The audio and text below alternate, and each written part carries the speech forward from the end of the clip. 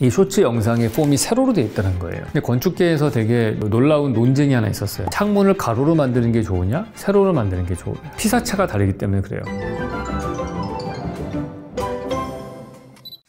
네, 안녕하세요. 오늘은 요즘에 좀 인터넷에서 뜨고 있는 쇼츠라든지 아니면 틱톡 같은 15초짜리 영상들에 대해서 좀 얘기를 해보려고 해요. 그 포맷도 세로로 되어 있고 좀 기존에 우리가 보던 동영상과 좀 다르잖아요. 제가 얼마 전에 특이한 경험을 했는데 아침에 샤워하고 나서 음악을 딱 듣고 있는데 음악의 템포가 되게 경쾌하고 빠른 거예요. 얼마 전에 들었던 전통 음악하고는 너무 템포가 다른 거죠. 그래서 제가 한국의 전통 궁중 음악 같은 것들 들으면 왜 이렇게 처지나 이렇게 생각이 들었거든요. 우리 현대인들이 아무래도 과거 에 한 500년 전의 사람보다는 우리가 훨씬 더 템포가 빨라졌다는 걸 느낄 수 있었어요. 그 음악만으로 봤을 때. 그래서 왜 그런가 생각을 해보면은 조선시대 때 사람들은 농경사회잖아요. 그 당시에 우리가 시간은 자시, 축시, 묘시 이렇게 나눠져 있었습니다. 2시간 단위로 끌어져 있어요.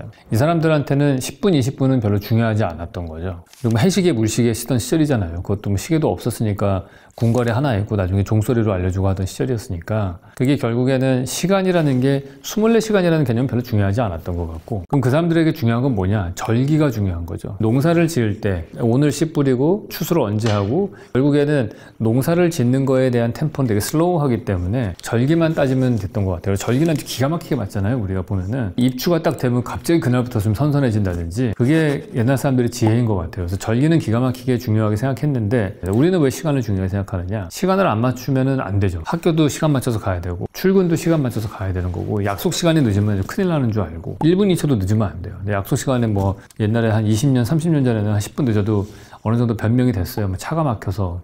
요즘은 티맵이 있잖아요. 그러니까 그것도 이제 안 되는 정말 정확하게 살아야 되는 시절이죠 그러니까 이렇게 된 계기는 아무래도 산업혁명이 되면서 기계를 돌려야 되는데 기계를 돌릴 때 9시에 딱 돌리면은 그때 시간에 기계 돌리는 시간에 맞춰서 사람이 와야 되는 거거든요. 근데 농사 짓는 땅은 해 뜨면 가서 일하면 되는 거니까 다른 사람들하고 시간을 싱크로 할 필요가 없어요.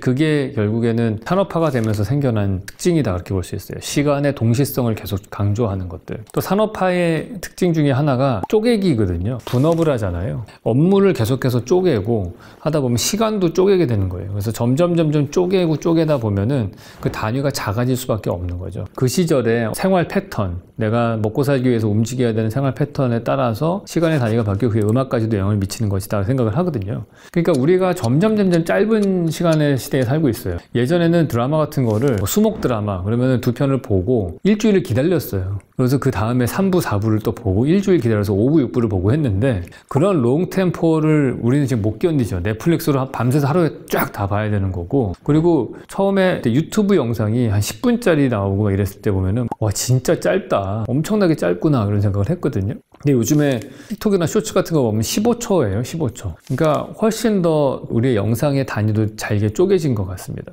그 이유가 사람들이 요즘에 그런 시간 단위가 점점 쪼개지는 것도 있고 그리고 거의 사람의 기억력과 집중력이 금붕어 수준으로 떨어지고 있다. 그 얘기 하더라고요. 그러니까 우리가 너무 멀티태스킹을 많이 하잖아요. 복잡한 도시 성경이나 이런 데 살면서 스마트폰 보고 주변에 신호등도 봐야 되고 어떤 사람 운전하면서도 확인하고 뭐 이런 것들이 동시다발적으로 하게 되면 어떤 현상이 생기냐면은 뇌과학자들 얘기가 multitasking이라는 건 없대요. 그냥 두 개의 task를 왔다 갔다 왔다 갔다 많이 반복하는 거라고 하더라고요. 그래서 제가 운전하면서 문자를 확인하는 거는 1초에 몇 번씩 사람의 뇌가 앞에 봤다가 문자 봤다, 앞에 봤다 문자 봤다 하는 거라는 거예요. 그래서 그거가 뇌에는 별로 안 좋다는 거죠. 그래서 long-term으로 뭔가를 집중해서 하는 거에 점점 힘들어지고 한 페이지 책을 읽기도 어려워요, 이제는.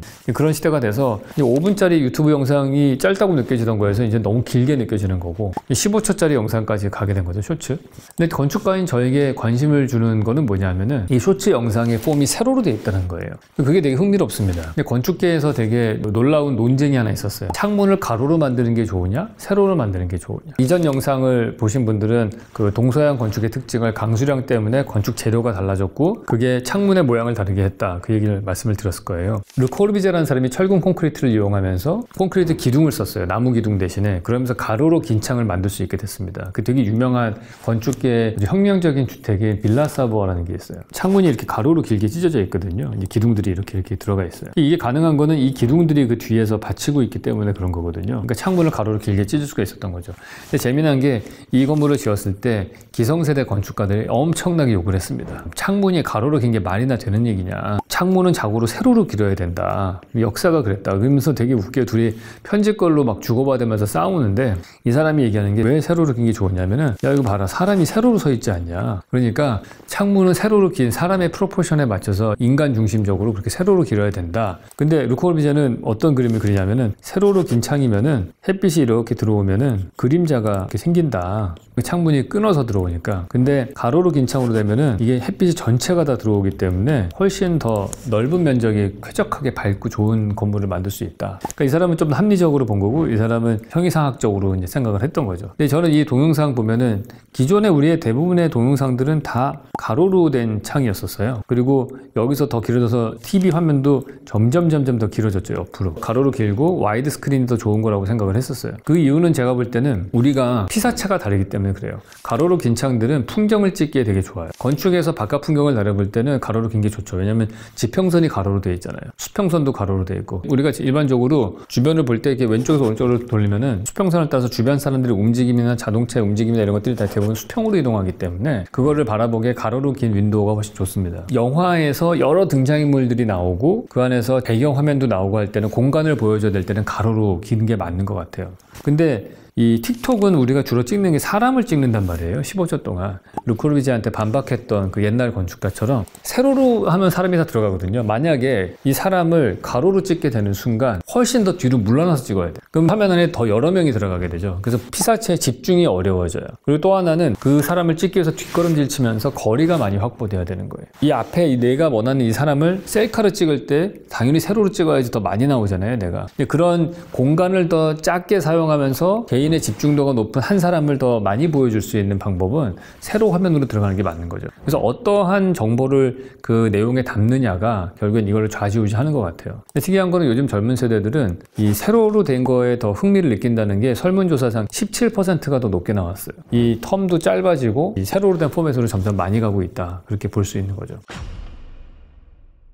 안도다다오 같은 경우에 여러 개의 다른 장면으로 쪼개서 시간을 딜레이를 시켜가지고 다른 장면들을 보여주고 그래서 공간이 더 넓게 느껴지게 한다 말씀을 드렸는데 그런 하나의 장면 혹은 하나의 공간이 하나의 기능을 가지는 것 이런 것들이 약간 산업화 시대의 것들이랑 비슷한 거예요. 근데 현재는 우리가 한 공간에서 여러 가지 일들을 하잖아요. 뭐 핸드폰으로 내가 화장실에 앉아서도 업무를 볼 수 있는 지경이 됐으니까 한 공간이 중의적으로 여러 가지가 쓰이게 되면은 결국에는 공간을 하나로 쪼개기가 힘들어지는 거예요. 이걸 하나의 기능으로 방으로만 주기에는 점점 점점 어려워져서 요즘에 그래서 공부방 따로 있고 잠자는 방 따로 있고 거실 따로 있고 이럴 필요가 없죠. 그냥 로프트 같이 하나의 큰 open space로 돼서 특히나 1인 가구, 2인 가구가 늘어난다는 것도 큰 변화의 요소 중에 하나예요. 4인 가족으로 살게 되면은 어쨌든 자녀 세대와 어른 세대라고 하는 두 개의 세대가 나눠지면서 확실하게 벽으로 프라이버시가 만들어져야 되고 그 프라이버시가 확보된 상태에서 public 공간인 식탁이나 거실에 나와서 오픈된 공간을 나눠서 쓰고 다시 자기 방으로 들어가고 이렇게 돼야 되는데 혼자 살거나 둘이 살면은 같은 세대가 사는 거잖아요. 그렇기 때문에 프라이버시가 전혀 문제가 안 돼요. 공간을 굳이 쪼개가지고 다 작은 공간으로 만들 필요가 없는 거죠. 그거는 오히려 바보 같은 거죠. 거실과 침실의 경계가 없어지고 차라리 벽이 없어지고 그리고 더 넓은 공간으로 쓰고 오히려 지금 시대에는